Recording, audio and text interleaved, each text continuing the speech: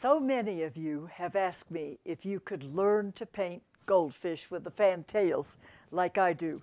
So I'm going to teach you how to do it because I think you will have yourself a wonderful time. Draw in the basic shape of the body of the fish with just a suggestion of the head. Now, the dorsal fin is going to take place at the peak of the body of the fish and go all the way down. Maybe just a hint on the, on the tail. Now, these are little spots of yellow. I'm going to place this into my rice mixture and I'm going to get another brush and I'm going to, I'm going to place in the reds. Now I'm taking blood red. I'm making this as simple as I can to show you how very easily you could do these beautiful fantail goldfish. Now I'm going to place in a stroke here.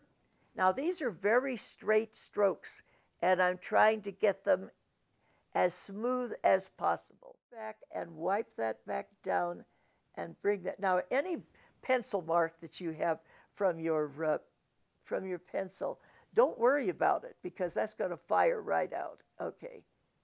Now this gives me a pretty harsh, nice edge that I can uh, bring in there.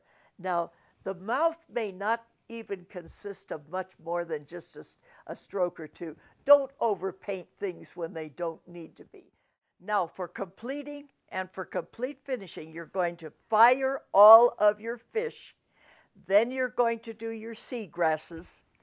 Then you're going to do your background. So what you would like, what I would like to see you do is to do all of your fish, fire them perfectly so that make sure that the fish are all as done as perfect as you can. Then do your seagrasses and do those in layers, your darkest one first, then the next value after that fire. You could have as many as three or four fires on that. Then you'll do your entire background by a complete wash of whatever your desire is. Put it on a turntable, an electric turntable, and let your guests enjoy that instead of having to feed the fish. You've got your fish sitting there with, with everything perfect. So have fun, guys.